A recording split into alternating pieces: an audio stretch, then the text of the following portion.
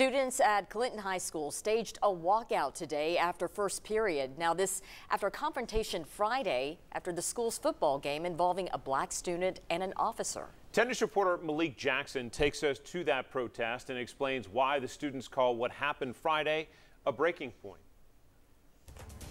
As a student body, we see that we have recognized that equality is the only thing that we will stand for.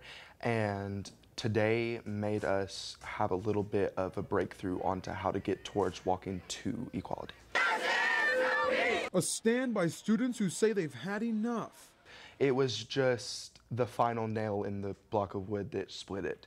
We were tired of everything that was happening, but it does play a big part because it shows to a, a, more of a public eye what goes on. The walkout stemmed from a confrontation Friday. The details are unclear, but video on social media shows a confrontation between an officer and a black student. At one point, the video shows that student on the ground. The sheriff's office says they are investigating, and the director of schools, Tim Parrott, says he's proud of his students for taking a stand. I really, I really am proud of our student body. Uh, they've done a, they've, they saw there was a problem. Uh, they did a walkout. It was an orderly walkout, but now they, now they know that's just the first part of it. That was Malik Jackson reporting. And again, at, tonight at 6, we will hear a statement from the family of that boy and where they want to see this case move from here.